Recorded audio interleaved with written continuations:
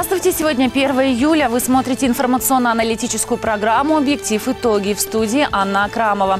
Я и мои коллеги познакомим вас с последними событиями. Коротко о главных темах. Парку Победы быть. В деревне Починок идут работы по реконструкции парка. Напомним, ранее эта общественная территория набрала наибольшее количество голосов на конкурсе лучших проектов комфортной городской среды. Парк Победы объединяет целое поколение сельчан, которые бережно хранят память о прошлом. Количество заболевших ботулизмом в России превысило 300 человек. Как уберечься от этого коварного заболевания и что надо делать для профилактики, расскажем в этом выпуске. Трогательный и нежный праздник прошел в Новоуральске. Общегородской выпускной со школой Росатома. 342 выпускника прощались с детством, а родители украдкой вытирали слезу. Город Ретро. 30 июня череда торжеств продолжилась в Центральном парке культуры и отдыха. Впервые в Новоуральске. Команда звезд Тарко сыграла со сборной города в футбол, а после звезды эстрады, спорта и кино, среди которых Дмитрий Харатьян, Михаил Гребенщиков, Виктор Зинчук и другие, провели мастер-классы на разных площадках Новоуральска и выступили с концертом в парке. Плодотворно завершается работа в летнем сезоне у народных избранников. Но при необходимости и возникновении важных вопросов они соберутся вновь. На завершающейся июньской сессии депутаты Думы Новоуральского городского округа внесли изменения в правила благоустройства. Они уточнили, кто должен отвечать за ямки и состояние мусорных площадок во дворах нашего города. Развитие темы в сюжете Антона Сапогова. Депутаты часто вносят изменения в правила благоустройства. В этот раз они предложили два практичных нововведения, нацеленных на помощь квартальным инспекторам. Первое касается вопросов складирования мусора на контейнерных площадках во дворах. Крупногабаритный мусор должен вывозиться не реже одного раза в неделю, и отвечать за порядок на площадках должна управляющая компания. Второе предложение депутатов направлено на сохранение асфальтового покрытия на дворовых территориях. Ряд внесен поправок, допустим, регламентирующих, когда можно предъявлять э, владельцам территории ну, требования по каким-то там выбоинам, э, ямам в асфальте. Да? Даже э, изменения касаются глубины и ширины этих ям. И, допустим, если яма больше 15 сантиметров длиной и 5 глубиной, то уже э, квартальный может э, такое замечание выдать. И если в течение 12 дней оно не будет устранено, то уже следующий шаг это вы, выписать предписание. Глава Новоуральского городского округа Вячеслав Тюменцев предложил вниманию депутатов подробный отчет о социально-экономическом развитии нашего города. Приобретение служебного жилья для медицинских работников. Но на сегодняшний день мы обсуждаем уже тему не только медицинских, а педагогических. Но учитывая, что по медицинским частично эту тему решает УХК по поручению ТВЭЛ, и значит, у нас уже приобретено три квартиры, одна двухкомнатная и э, две однокомнатной квартиры на сумму 5 миллионов рублей. Остаток у нас 1 миллион есть, значит, ну, будем докупать. Предоставление планируется этого жилья в 2024 году, значит, ну, соответствующие заявки от МСЧ есть.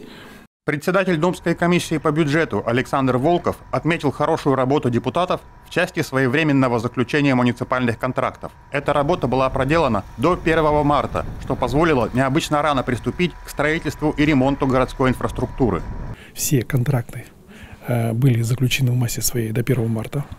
Э, все неиспользованные или от контрактов оставшиеся деньги пошли на другие цели. И сегодня вся контрактная история, она закончена. Сегодня порядка 750 миллионов, 750 миллионов выделено на город. В эти 750 миллионов входят это все благоустроительные работы, это капитальные работы, связанные с заменой сетей, Э, как водоканала, так и теплосетей, это замена вводов. И подчеркиваю, вода надо ремонтировать. Почему? Потому что эта проблема существовала годами, и к ней никто никогда не прикасался. Никогда. Вот, это буквально где-то года, года два назад или год назад начали вот эту тему развивать. Вот. Мы социальные вопросы, касающиеся обеспечения э, горячим питанием детей, э, оздоровительная компания, э, дети, которые работают у нас э, на каких-то благоустроительных э, городских э, территориях, это тоже все профинансировано. В июле депутаты уходят на каникулы, но при этом они могут собираться для принятия важных безотлагательных решений. Антон Сапогов, Даниил Запивалов, «Объектив. Итоги». Сегодня, в первый день июля, свой день рождения встречает Вячеслав Яковлевич Тюменцев, глава Новоуральского городского округа. Искренняя любовь к малой родине, к Новоуральской земле. Вот, пожалуй, главный стимул для работы главы Новоуральского городского округа Вячеслава Тюменцева. Свой день рождения он встречает аккурат перед знаковыми юбилеями города и комбината. За последние три года, когда у руля нашего города встал новый молодой руководитель, мы стали постоянно слышать слово «впервые». Впервые Новоуральск стал участвовать сразу в 10 национальных проектах, привлекая на них федеральные деньги. Впервые бюджет Новоуральского округа стал таким финансово наполненным и бюджетом развития. Отметим, что бюджет текущего года увеличился на 22% по сравнению с 2021. Как раз за счет финансирования федеральных и региональных программ, участие Новоуральска в национальных проектах поддержки топливной компании «Твел» и госкорпорации «Русатом». Впервые огромное внимание уделяется сельским населенным пунктам, где теперь обеспеченность жителей бюджетированием выше, чем в городе. Впервые муниципалитет занялся проблемами экологии. Это зарыбление нашего пруда, это концепция озеленения Новоуральска, это образование городского лесничества. Впервые в Новоуральске к ремонту дорог стал применяться комплексный подход. Сначала с заменой инженерных сетей под ними, затем ремонтом дорожного полотна и ремонтом ограждений бортового камня.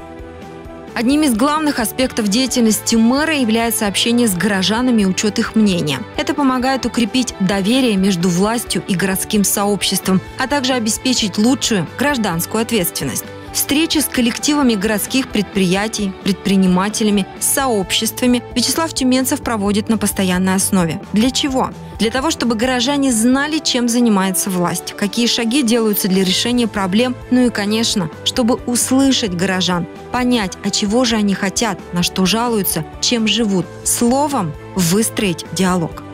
Одной из приоритетных стратегических задач глава Новоуральского городского округа считает молодежную политику. Не свод постановлений, концепций, стратегий, а реальные шаги, реальные действия, которые предпринимаются для того, чтобы молодежь оставалась жить в родном городе, работать здесь, создавать семьи. А для этого город должен стать комфортным для проживания. Здесь должны быть рабочие места, доступное жилье, развитая инфраструктура, достойное образование и досуг. Именно эти цели ставило и ставит себе руководство Новоуральска. Что пожелать в этот день главе Новоуральского городского округа? Наверное, бодрости, неисчерпаемого запаса физических и духовных сил для плодотворной работы на благо процветания родного города и осуществления всех замыслов. Сельских населенных пунктах городского округа дождливая погода несколько выбила строителей из графика. В этом убедились участники общественной комиссии по контролю за ходом строительных работ, посетившие с объездом деревню Починок, где по программе формирования комфортной городской среды ведется реконструкция парка Победы. Рассказывает Антон Сапогов. В парке Победы трудятся рабочие из далекого юга. Для экономии времени живут они прямо на площадке в строительном вагончике. Сейчас бригада наверстывает упущенное из-за дождей время. Работа выполняется согласно графика. К сожалению, погода вносит свои коррективы, но мы двигаемся в, в рамках графика, контракта. Э, выполненная подготовка к устройству инженерных сетей, э, подготовка к укладке кабеля – продолжаются работы по ремонту памятников. Техника разравнивает площадку будущего парка. Строители занимаются реставрацией памятников, которых в этом парке два старый и новый. Уже наложили на поврежденные места несколько слоев штукатурки. Приводят в готовый вид кабельные траншеи, которые еще недавно были затоплены водой. Трамбуют уложенный в них щебень. Пробурили ямки под мачты уличных фонарей. Строители работают в усиленном режиме, поскольку дожди то и дело возобновляются. Работы, конечно, затянулись в связи с погодными условиями. Сейчас у нас неделю дождь, поэтому тут очень много э, подземных работ, укладка кабелей под землей электрических. Понятно, что в такие погодные условия работать некомфортно, но я на подрядную организацию смотрю оптимистически. Я уверена, что они наш парк Победы, который вот сегодня в таком состоянии, они его сделают достойным в соответствии с проектом. Верим во все хорошее хорошая. На следующей неделе погода сухая. Э, нам обещают, что однозначно через две недели все работы по кабельной продукции будут э, закончены. Э, уже отбили точку для производства планировки и нам обещают выйти из земли. Подтверждает, что все оборудование, там и детская площадка, там и воркаут заказано, поставка будет 15 июля, окончание, ну, готовность к отправке будет 15 июля. Это же касается и других малых архитектурных форм. Значит, э, по освещению закладные все уже на площадке. Опоры, опоры для освещения будут изготовлены в августе месяце. Э, процент исполнения, ну там максимум 10%, больше вообще категорически дать нельзя. Вторым объектом в программе объезда стала аллея трудовой славы. Здесь строители успели уложить все подземные кабели до начала дождей. Они подготовили к покраске единственную на аллее трудовой славы доску почета для лучших тружеников. Залили бетонные сваи для большого 16-метрового пандуса, чтобы удобно было гулять женщинам с колясками, а также маломобильным инвалидам. На участке основных работ выставляют бордюрные камни для будущих цветников. Мы посмотрели, что идет закладка кабельной продукции э, для архитектурного освещения. Это совместная работа с НГС. Поэтому на этом объекте через две недели мы увидим ну, уже более-менее реальную картину. И э, хотелось бы надеяться, что все-таки работы по укладке плитки уже начнутся на той территории, где сейчас, э, грубо, центра отбиты вот, э, бортовым камнем. Э, очень нужно уже начинать работы по плитке. Специалисты нас уверяют, подрядчик прибыли, значит, на место. Вот именно они этим занимаются. На сегодня на площадке э, достаточно количество техники, 3 э, единицы, и 26 человек только рук. То есть прям 4, э, грубо говоря, вида работ одновременно выполняются на этой площадке. Здесь работы э, немного отстают от графика, но я думаю, что недели через две при хорошей погоде э, данная территория будет э, в графике. Наконец, участникам объезда представили настоящую изюминку будущего паркового комплекса – стационарный общественный туалет. После вырубки всех кустарников в округе это будет важно для отдыхающих здесь горожан. В туалете три кабинки – мужская, женская и кабинка для инвалидов-колясочников. Таковы современные градостроительные требования для общественных территорий. Антон Сапогов, Даниил Запивалов, «Объектив. Итоги». К другим темам. В России 1 июля отмечают День ветеранов боевых действий. Торжество посвящено всем бойцам, которые когда-либо вставали и встают на защиту Родины и принимают участие в сражениях. Главной традицией праздника остаются встречи ветеранов. Сослуживцы собираются вместе, вспоминают дни, проведенные на фронте, обмениваются новостями и возлагают цветы. Самое лучшее поздравление для ветерана – это слова признательности и благодарности от тех, кого он защищал, рискуя собственной жизнью. Соотечественников, детей и, конечно же, близких. Сегодня это нужно всем. Почему? Потому что сегодня идет война, назовем его так. Сегодня против нас ополчился, ну, скажем так, большинство мирового сообщества, это более 50 стран. Сегодня мы находимся в достаточно таком жестком режиме, и президент – э, периодически повторяют и говорят, ребята, нам нельзя расслабляться. Потому что сегодня вот эти все праздники, вот эти все мероприятия такие вот веселительные, это нужно по минимуму, наверное, сегодня. Сегодня нужно проводить вот такие мероприятия, где поставлена задача на патриотику, поставлена задача на защиту Родины. И такие мероприятия нужно транслировать, проводить. И самое главное, эти мероприятия должны быть с детьми. Нужно воспитывать молодежь. Очень важно, чтобы память, она сохранялась именно на положительных примерах героизма, патриотизма. И мы как раз находимся сегодня на мероприятии, которое культивирует это, которое напоминает, что никто не забыт и ничто не забыто. Благодаря как раз этой памяти мы с вами живем в мирном городе Новоуральске, э, э, который мирный, в том числе и благодаря нашим защитникам Отечества. Часть из них сегодня находится здесь, часть из них находится сейчас на линии фронта. Наши ветераны традиционно присоединяются к памятной акции «Батальон отважных». Они провели митинг у Вечного огня и возложили цветы к памятнику воинам-интернационалистам. Для ветеранов также была подготовлена концертная программа военно-патриотической песни. Русский человек так создан, пока живы, пока помним. Значит, э, все, кто ушли в небеса, они все с нами. И дай Бог, чтобы мы жили дольше и память жила с нами вместе, как можно дольше. А мы всегда помним наших ребят, Организаторы праздника уверены, что существующие даты воинской памяти не охватывают всех категорий ветеранов. С одной стороны, есть 9 мая, когда чествуют участников Великой Отечественной. Есть 15 февраля, в которое собираются воины-интернационалисты, прежде всего те, кто воевал в Афганистане. Активисты считают, что про задействованных в других конфликтах, которых было немало, не вспоминают. Поэтому и хотят ввести общую для всех дату как официальный государственный праздник. Меня радует, что у меня здесь появились новые друзья. Как бы общение это вообще нужно. Вот, ветеранам боевых действий это вообще как бы общаться и, конечно, также в помощь в патриотическом воспитании молодежи.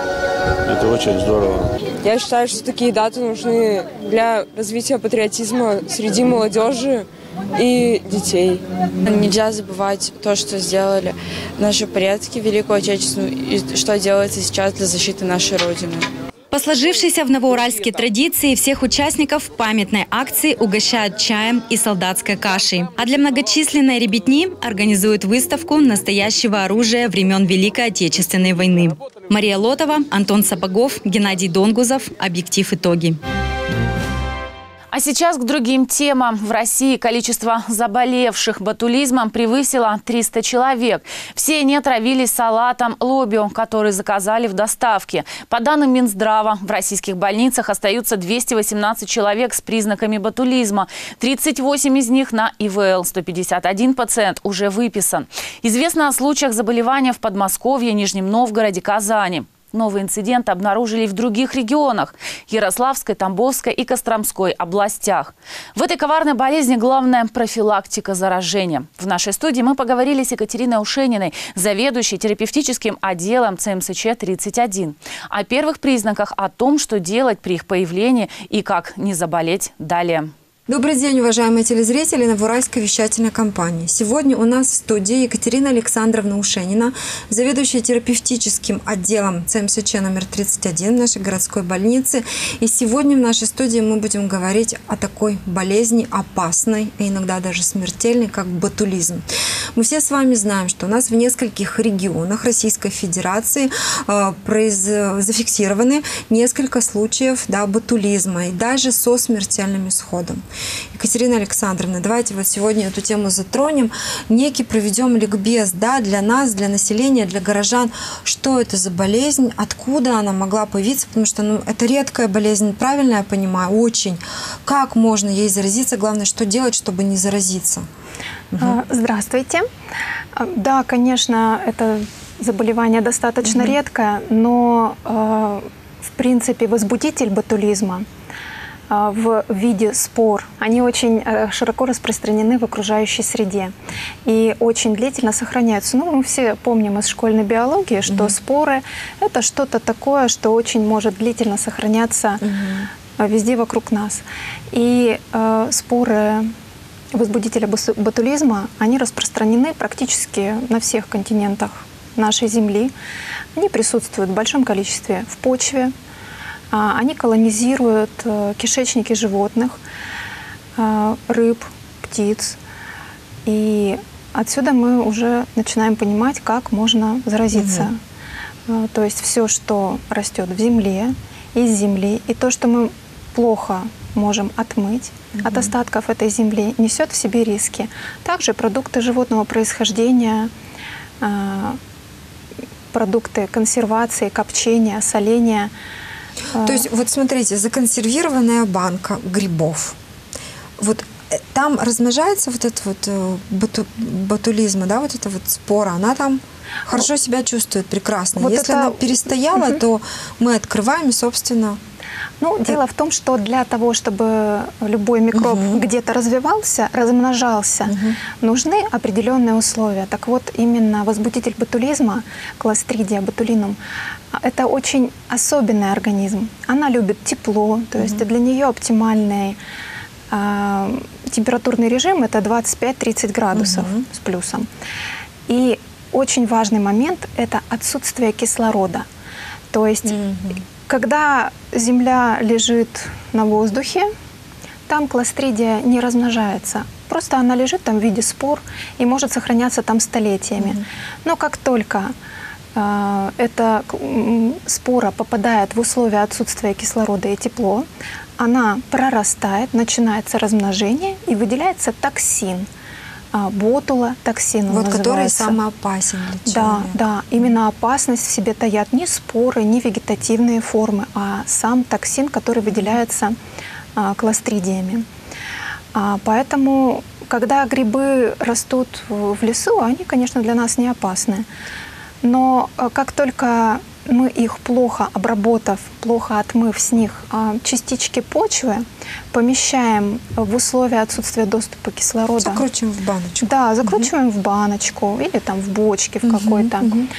А, эта спора может прорасти, и э, там будет вырабатываться ботулотоксин. А, поэтому, наверное, все у нас любят Народная мудрость, она тоже э, веками создавалась. Все заготовки хранить в холодильнике, в подвалах, то есть там, где прохладно. А, Кроме того, у ботулотоксина есть такая особенность. Он не имеет цвета, не имеет запаха и не имеет вкуса. То есть нельзя понять, что мы да, его съели. Да, к сожалению, Мгм. невозможно понять. Мы можем заподозрить, то есть вот консервы испорченные с бомбажом, да, как так называемые. А, Это говорит нам о том, что есть какие-то риски. Но Не надо это, да, совсем Да, это кушать в не любом надо. случае. Да, Если не, совершенно не правильно. ботулизм, так что-то другое, Что-то там другое. будет. Да, да, совершенно правильно. А, Поэтому никак невозможно заподозрить. э, Хорошо. Что а, тогда такой вопрос, что должно насторожить человека? Ну да, к примеру, был факт употребления каких-то консервов. Даже пусть магазинных, пусть не домашних, был чего-то такое. Что должно насторожить? Как Мгм. проявляется? Первые проявления ботулизма а, это неврологическая в основном симптоматика. Конечно, могут быть такие симптомы, как э, тошнота, рвота, диарея, но они встречаются не у всех пациентов и связаны с сопутствующей флорой, которая в этой еде находилась. Основные симптомы ботулизма – это именно неврологическая симптоматика. Чаще всего эти пациенты попадают в стационары с диагнозом инсульт, потому что Серьезно. да, потому что симптоматика необычна для инфекционных заболеваний. При ботулизме не повышается температура. А, по а, описаниям пострадавших э, вот в этот период времени а, обычными первыми симптомами были такие жалобы, как туман перед глазами, двоение в глазах, какая-то сетка перед глазами, мушки перед глазами. А, То есть именно нарушение зрения. И в дальнейшем эти симптомы у кого-то быстрее, у кого-то медленнее распространяются, ну, как будто бы сверху вниз. Появляется нарушение глотания, голос становится гнусавым. Это тоже неврологический симптом. И э, начинаются параличи, то есть э, мышцы перестают двигаться на, на конечностях. Самое опасное проявление ботулизма – это остановка дыхания, что может, естественно, привести... смертельный исход. Да, Вот да. здесь получается, чем раньше человек попал в руки медиков, тем больше шансов у него Совершенно выжить. правильно. Даже здесь об этом речь, да? Да. Когда уже, когда нет еще необратимых последствий, когда остановка там дыхания и все. То есть здесь нужно очень внимательно следить. Если появились такие симптомы, то сразу же, сразу же, просто незамедлительно к врачу обращаться. Совершенно правильно, да, конечно. Ну, хорошо, как еще тогда профилактировать все-таки? Давайте советы дадим Мгм, нашим советы. телезрителям. да. Ну, самые стандартные советы Мгм. это не покупать э, продукты домашней консервации ну, где-то на Вообще стороне. нигде. Вообще, Давайте да. так. Совершенно правильно. А, Потому что каждая хозяйка для себя, конечно, отмоет э, огурцы, отмоет э, грибы э, и так далее. А вот если это делается на продажу, мы понимаем, что мы не знаем, как это обрабатывалось. Никто этот процесс не контролирует. А, Если есть какие-то случаи заражения ботулизма, связанные с какими-то магазинными продуктами, эти продукты тут же изымаются из оборота по всей стране. Мы сейчас это видим. А, То есть э, изымаются, уничтожаются просто тонны недоброкачественных продуктов. А, Поэтому то, что производится на заводах, оно более оно более надежно в этом плане. Угу. При э, приготовлении продуктов домашней консервации, конечно, э, исключить использование продуктов с признаками порчи. Угу. Естественно, тщательно промывать все, что вы консервируете, в том числе тару, то есть вот угу. стекло. Обязательно соблюдать рецептуру той заготовку, заготовки, которую вы делаете, чтобы там было достаточное количество кислоты и соли, mm что будет тормозить э, размножение бактерий. Ну, держать в холодильнике, да? Обязательно, сказали, да, чтобы, соблюдать да. условия хранения mm-hmm. законсервированных продуктов.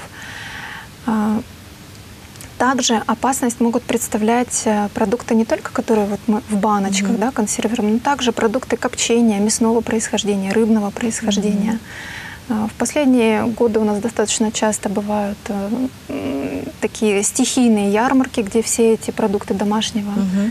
приготовления э, продаются. Это не безопасно. Угу. Совершенно. Не только в плане ботулизма, но и в плане других угу. инфекционных болезней. Да. Угу. Э, рекомендуется э, ботулотоксин, он неустойчив к температуре. Угу. Если все-таки у вас имеются какие-то продукты, в которых вы не очень уверены, можно подвергнуть термической обработке, кипячению. То есть он там разрушается, да, при кипячении? При кипячении угу. в течение 25-30 минут угу. ботулотоксин разрушается. Угу. То есть э, в таком случае, ну вот как крайний вариант – наша медсанчасть тоже сейчас вот при фиксации вот этих случаев да, по всей стране, в разных регионах, у нас тоже какие-то меры принимаются, да, или настороженность как-то, или обучение? Да, конечно. Ну, на самом деле, я вам хочу сказать, что наше инфекционное отделение, оно всегда готово к поступлению mm-hmm. таких пациентов. А, у нас всегда закупается специальная противоботулиническая сыворотка, то есть mm-hmm. это препарат. Mm-hmm да, препарат для лечения ботулизма. А, он всегда в запасе имеется. Ну, слава богу, в последние года он нам не пригождается. Десятилетия, наверное, да, последние. Да, дай это Бог, и да, так же да, будет. дай Бог, угу. так и будет дальше. А, специальный препарат имеется. Также всем известно, что в нашем больничном городке имеется отделение анестезиологии и реанимации, угу. где есть аппараты искусственной вентиляции угу. легких и квалифицированные врачи, которые угу Э, при необходимости эту процедуру с пациентом проведут. А также, конечно же, на фоне всей этой ситуации в нашей стране э, у нас проведено обучение для врачей и для всех желающих медицинских работников с участием главного внештатного инфекциониста ФМБА Владимира Владимировича Никифорова, доктора медицинских наук, который нам напомнил об особенностях этого заболевания. Поэтому... Ну, здесь, да, мы понимаем, что здесь предупрежден, значит вооружен. Да. да, мы вот сейчас вот по этому принципу. Спасибо вам большое, Екатерина Александровна, что вы рассказали, да, на что стоит обратить внимание. Ну, раз сейчас такая ситуация, мы все-таки должны быть на стороже. Спасибо, что были сегодня с нами. Это программа «Объектив. Итоги» и мы продолжаем. Коротко расскажу о главных темах второй части нашего выпуска. Команда звезд спорта, эстрады и кино «Старко» сыграла с Новоуральской. Кто победил, узнаете в выпуске. Новоуральцы спрашивают, а генеральный директор Уральского электрохимического комбината отвечает. Сегодня вопрос о грядущем юбилее Александру Дудину задают Лев Колесник и Андрей Елисеев. На высоте в Новоуральске прошел общегородской выпускной со школой Росатома. Об этом и другом далее. Какая звезда приедет на юбилей Новоуральска и Уральского электрохимического комбината? Об этом спрашивают юные новоуральцы Лев Колесник и Андрей Елисеев в рубрике «Дудин отвечает». Это продолжение проекта с генеральным директором УХК. Сегодня о праздничных активностях и хедлайнерах торжества.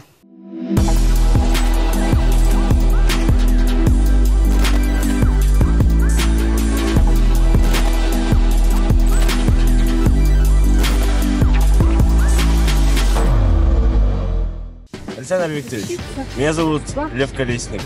Какие мероприятия будут проводиться к юбилею? Александр Викторович, меня зовут Андрей Елисеев. И какую на этот раз вы нам привезете звезду? Хочу сказать, что мне очень приятен интерес молодого поколения к событиям, которые проходят на УИХК и в нашем городе. В воскресенье у нас группа «Старко», футбольная встреча с новоуральцами и мастер-класс по вокалу. Ближе к пятому числу ожидается большой приезд гостей. Они приедут нас поздравить с юбилеями, гости будут с госкорпорацией «Росатом», из топливной компании «Твелл», с родственных предприятий. Мы вместе откроем наш атомный коворкинг, это вторая очередь музея УИХК. Затем очень интересное событие будет, мы вскроем капсулу, которая пролежала 25 лет и была написана потомкам теми людьми, которые работали на предприятии, когда УИХК отмечал 50-летие своего образования. Будет очень интересно узнать, что они нам написали. 5 же числа в концертно-спортивном комплексе в нашем мы чествуем наших передовых работников, награждаем, слушаем концерт, общаемся и вместе отдыхаем. 6 числа на площади нашего города будет большой праздничный концерт и выступление эстрадных коллективов. Нынче мы ожидаем приезд группы «Дискотека Авария» и приезд Сергея Лазарева. Так что будет весело и интересно. Всех с юбилеями приглашаю на праздник. Спасибо.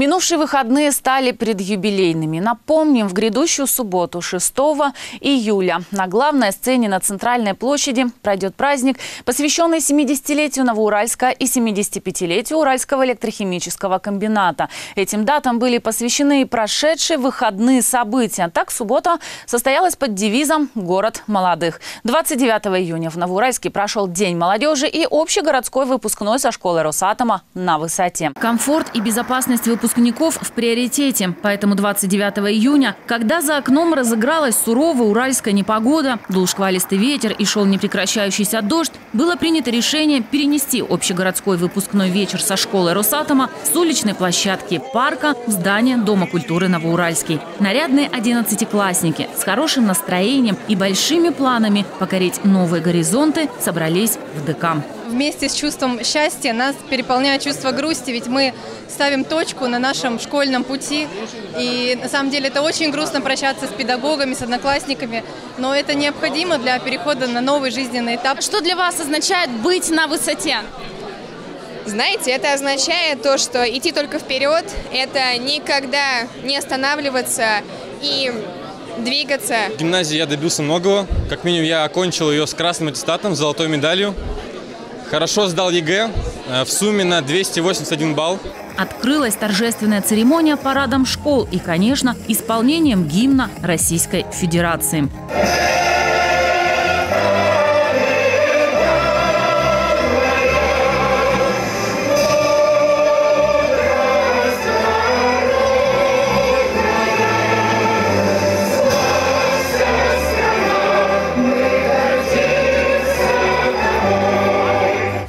Особенные выпускники 2024 года. Ребята окончили школу в год 70-летия Новоуральска и 75-летия Уральского электрохимического комбината и вошли в историю города в юбилейный год, отличившись своими успехами и достижениями. Теперь уже у абитуриентов взрослая жизнь, она только начинается. Их ожидает движение вперед к новым судьбоносным высотам.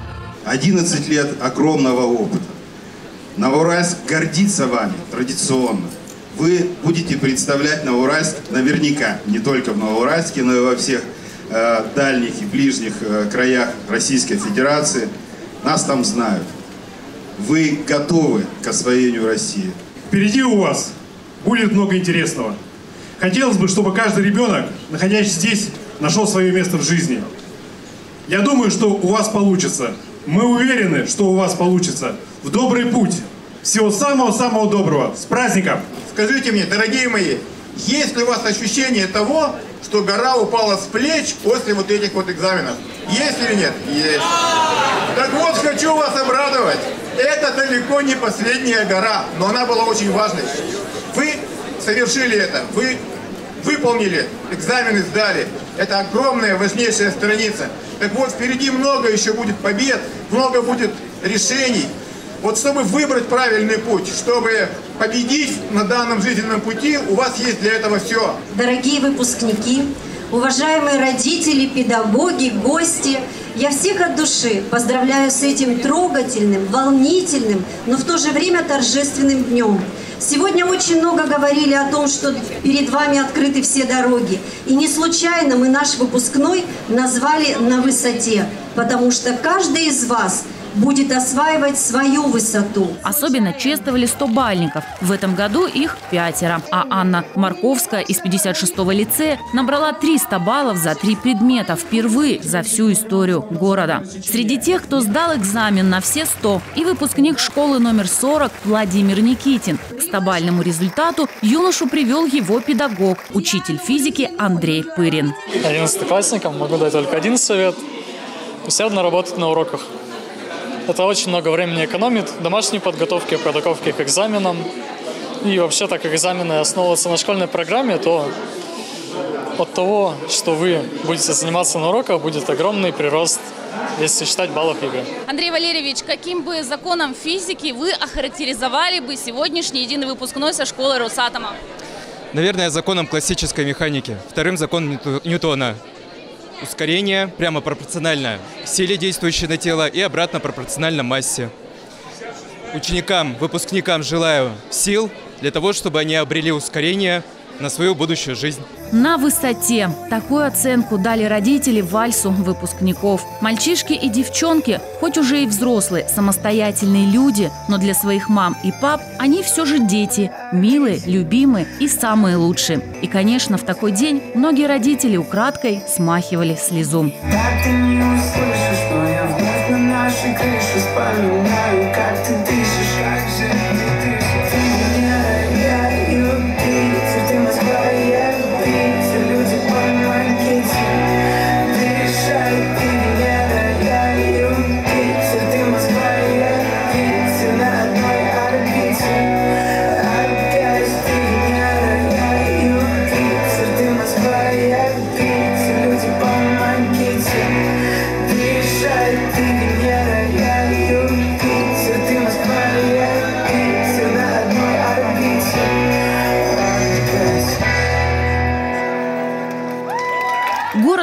гордится своими выпускниками, которые достойно представляют родную землю, свою малую родину. В виде обращения к ребятам передал выпускник 45-й школы Новоуральска, олимпийский чемпион Данила Изотов. Он пожелал выпускникам побед и новых высот. Педагоги, родители и дети подготовили еще один сюрприз – флешмоб. Он стал уже доброй традицией выпускного вечера со школы Росатома.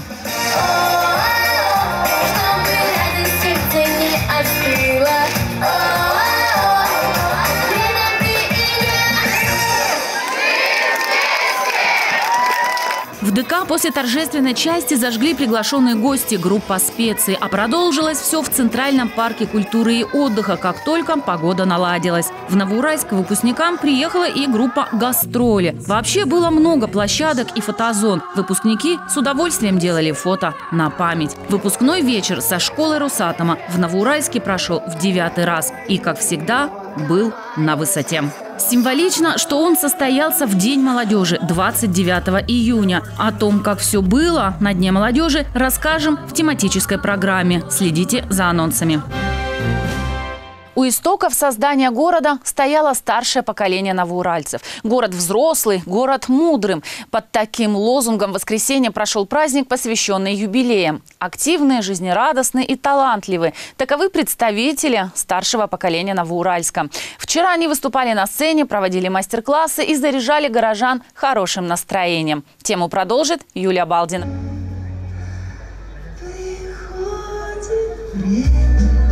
70 и 75 лет Новоуральску и Уральскому электрохимическому комбинату. Это эпоха. Это заслуженные люди, трудовые династии, атомщики, строители, врачи, учителя, талантливые, увлеченные специалисты разных направлений и профессий. Все те, кто для города стал одной дружной семьей. Эта история показывает, что люди – главная ценность, основа и душа любого города. Именно они были главными героями праздника «Город ретро». Те, кто поют и танцуют, проводят мастер-классы и заряжают своей энергией всех вокруг. Мне очень нравится это, это мероприятие, мне очень нравится все вот эта атмосфера, прям концерт этот, особенно женщины. Они очень красиво танцевали. Я прям вместе со своими подружками прям зажигала.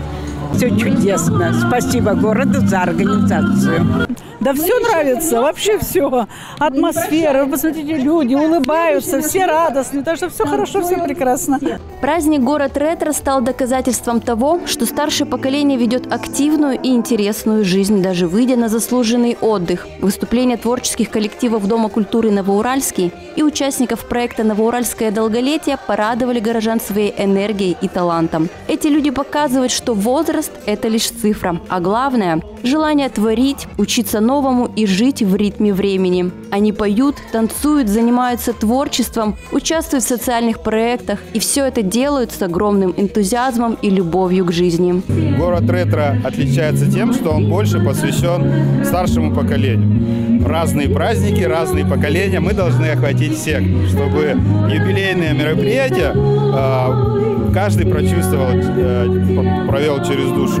Новоуральское долголетие – это один из э, таких глобальных проблетов, а, про проектов на Уральском городском округе, который уже выходит на масштаб области, даже российский масштаб. Поэтому э, вот этот праздник, который не только посвящен людям старшего поколения, но и э, участники этого праздника, это как раз э, те люди, которые э, входят в вот это новоуральское долголетие. Мы сами в нем принимали участие, с слушали концерт и, и рады, что у нас э, наши ветераны э, такие активные, творческие люди. Сегодня прямо солнышко, жарко, погода классная. Люди собрались веселые, всем интересно. Всем жителям нашего города почаще улыбаться, такого же солнышка, как сегодня, хорошей погоды, радости. Очень все классно, здорово. Спасибо городу и электрохимическому комбинату за такой шикарный праздник. Действительно, главное богатство Новоуральска – это его добрые жители. Люди, которые создают уютную атмосферу в городе и вместе делают его лучше. Юлия Балдина, Данил Запивалов, «Объектив. Итоги». Футбольный клуб «Звезд Тарком» побывал 30 июня в Новоуральске.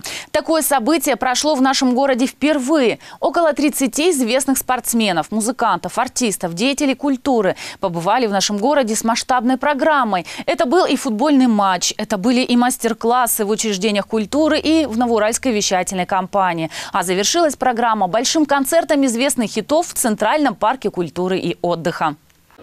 Отметим, Новоуральск уже 14-й Атомград, в котором побывал клуб «Старко». Программа всего один день, но этот день был насыщен мероприятиями. Все началось на стадионе спортивной школы номер два. Здесь прошел матч между сборной клуба «Старко» и сборной Новоуральска. Отрадно, что завершен он был со счетом 5-2 в нашу пользу. После на поле прошел спортивный мастер-класс. Прикалывались наши тренеры, когда мы бегали, так?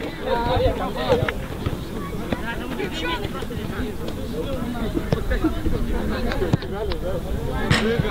Затем гости города разъехались по учреждениям, в которых прошли мастер-классы и творческие встречи. К примеру, Григорий Гладков, автор всеми известных и любимых песен, провел встречу в клубе «Уют». А певец и ведущий Михаил Гребенщиков, участник некогда нашумевшего телепроекта «Фабрика звезд», побывал в Новоуральской вещательной компании, где провел также тематическую встречу. У меня получилась очень хорошая беседа с вашими творческими телевизионными людьми, блогерами. Было много интересных вопросов. Мы как-то так по-человечески хорошо посидели, поговорили. Это больше у ребят надо спросить, получили ли они от меня, что хотели. Но, суть по всему, получили. Мы, как всегда, больше, чем город, видим людей. Пока общение проходит хорошо, очень гостеприимные люди. Мы готовим программу, в которой подробно расскажем о клубе «Звезд Тарко» и их визите в Новоуральск. Следите за нашими анонсами. Альбина Евсеева, Кирилл Пантелеев, Юлия Балдина, Геннадий Донгузов и Даниил Запивалов. Объектив итоги. В завершении выпуска расскажу о погоде на ближайшие два дня. Так, по данным сайта Гисметео, 2 июля в Новоуральске пройдет небольшой дождь. Ночью плюс 12, днем 22 градуса выше 0. Ветер северный 2-3 метра в секунду.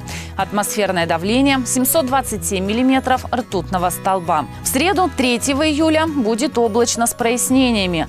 Ночью плюс 17, днем 28 выше 0.